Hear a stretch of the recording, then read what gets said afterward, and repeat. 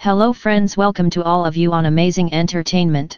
अपने अनुभव के आधार पर आश्वस्त होकर, निश्चिंत होकर कह रहा हूँ कि स्थितियाँ सकारात्मक दिशा लेगी और ज़्यादा से ज़्यादा जुलाई अगस्त सितंबर के अंदर ही अधिक से अधिक विलंबित भुगतान ब्याज के साथ हो जाएँगे परंतु इस निश्चिंतता के साथ कि कोरोना दुनिया में खासकर अमेरिका, भारतवर्ष में और कुछ देशों में फिर से विकराल रूप न धारण करें।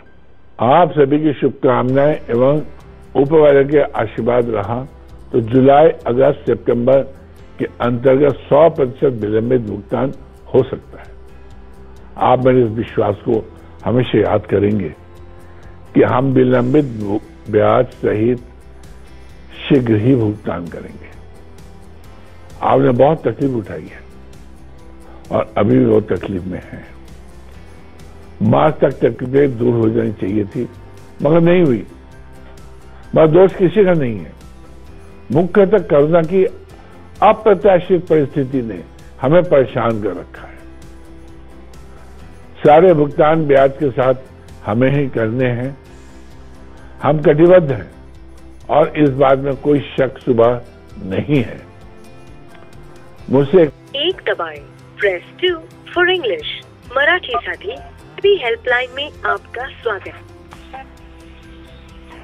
नमस्कार सेबी हेल्पलाइन में आपका स्वागत है।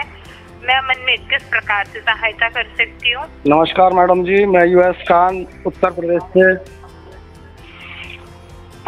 यूएस खान राइट यस धन्यवाद यूएस खान जी क्या सहायता कर सकती हूँ? मैम जी हम P S L India limited का जो ऑनलाइन प्रोसीजर चल रहा है उसके रिफंड प्रक्रिया के बारे में कोई नई अपडेट आपसे जानने की इच्छा है हमारी? ओके सर आप पी एस एल के संदर्भ में राइट ओके ओके मैम आवाज़ आ रही है सर आपको मेरी? यस यस मैम बिल्कुल आ रही है।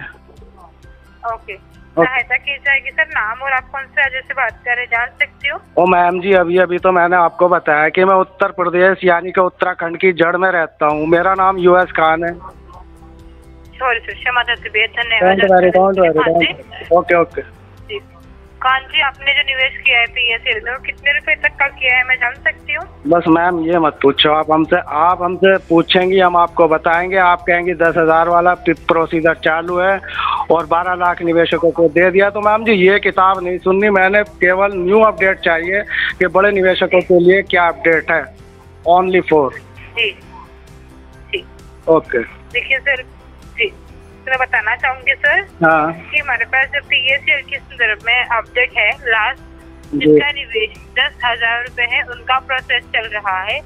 लास्ट सत्ताईस अप्रैल की अपडेट आई है जी जी। इसमें बताया गया है जी इसमें खान जी बताया गया है अब तक बारह लाख सत्तर हज़ार आठ सौ उनचास निवेशकों को धनराशि लौटाई गई है और जिनका लैंड अलॉट में यस हो चुका है खान जी जी। होल्ड में रहने के लिए कहा गया है सर जी जी। जी खान जी।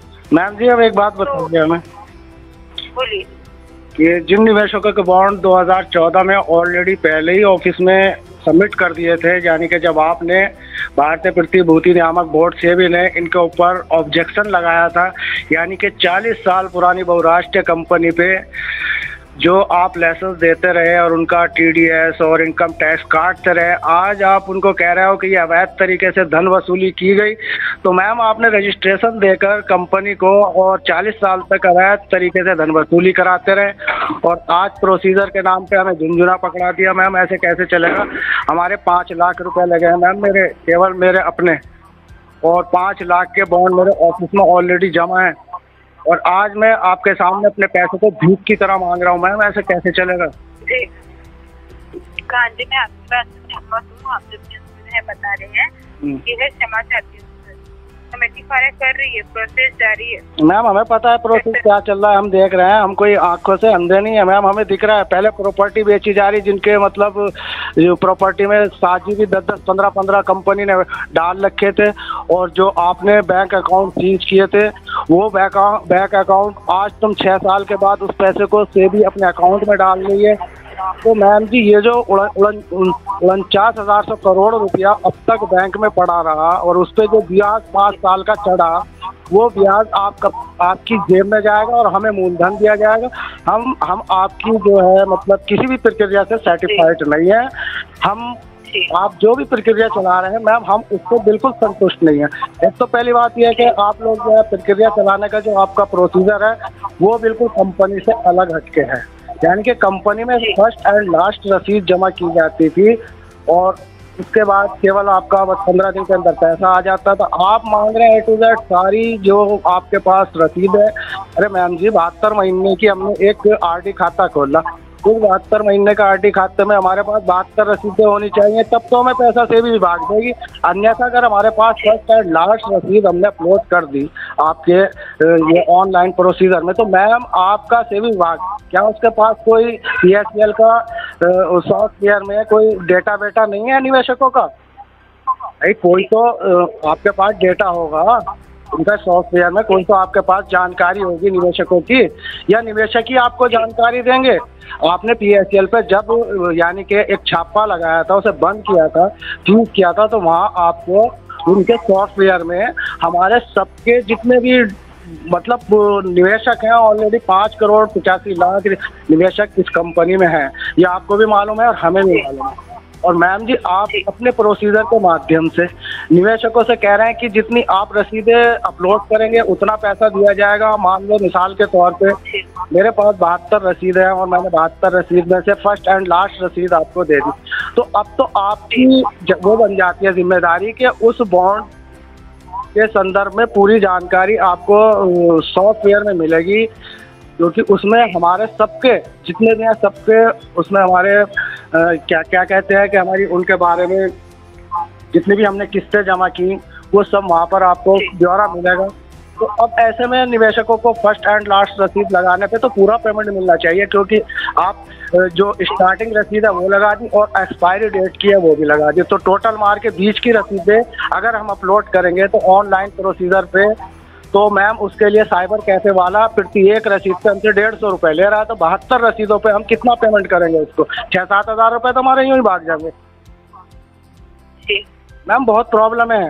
आप हमारी जो आपने ये हमारी वीडियो जो हम आपको अपनी तरफ़ से आपको बता रहे हैं तो मैम जी इस बात को कम से कम आप अपने ऊपर सीनियर तक पहुंचाओ क्योंकि हमें मालूम है कि आपके पास केवल लिमिटेड जानकारी होती है और लिमिटेड जानकारी से हम संतुष्ट नहीं है और मैम जी, हमारे यहाँ पर तो आत्महत्याओं का तांडव चल रहा है। निवेशक और एजेंट जो है, लगातार आत्महत्या करने पर तुले हुए हैं, क्योंकि इधर सूदखोरों से पैसा उठा रहे हैं और जो दबंग निवेशक है, उनका पैसा उन्हें वापस करने के लिए सूदखोर इनको पैसा दे रहे हैं और उसके बाद जब वसूली करते हैं, उस पैसे की, इस लॉकडाउन में मैम जी, जब आदमी के पास एक फुटी कौड़ी उसके पास नहीं है, ऐसे में सूद से पैसा उठाकर पैसा निवेशक को दे रहे हैं और सूदखोर उन पर जास्ती कर रहे हैं उनके घर मकान जायदाद बेच रहे हैं।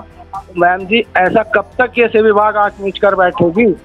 आप मुझे प्लीज़ मेरी बात को समझो। मैं आपसे गुस्सा नहीं मैं अपनी मजबूरी बता रहा हूँ जो हमारे सामने प्रॉब्लम चल रही है। That's all ma'am ji. धन्यवाद आपका बहुत बहुत। धन्यवाद। और कुछ सहायता इसके अलावा? मैम जी यही सहायता कर दो हमारे लिए तो आपका बहुत ही उपकार होगा। हम बहुत आपके ऋणी रहेंगे। कि आप हमारा पाँच करोड़ पिचासी लाख निवेशकों का पैसा हमें बाइज्जत विद ब्याज दे दो। हम बहुत आपको दुआएँ देंगे। मेरा पाँच लाख रुपया मैडम जी। इस पाँच लाख रुपए का कोई प्रोसीजर अभी तक नहीं चला। जबकि 2016 से सुप्रीम कोर्ट का ऑर्डर था कि सभी निवेशकों का पैसा विद ब्याज दे दिया जाए। लेकिन मैम जी आप लोग हैं कि हम लोगों को आ, मतलब हमारी जो रकम खुद की रकम लगी हुई है मूलधन भी नहीं दे रहे हो। मैम जी ये सब अंधेरी नगरी चौपट राजा हमारी समझ में नहीं आता। धन्यवाद बहुत बहुत। और कोई जानकारी हमें लेनी होगी ले लेंगे। Okay okay. ओके ट्रांसफ़र कर रही हूँ। Okay okay. बाय है तो एक्सप्रेस कीजिए। जी अन्यथा तो सभी हर धन्यवाद। हाँ जी आपका दिन शुभ रहे।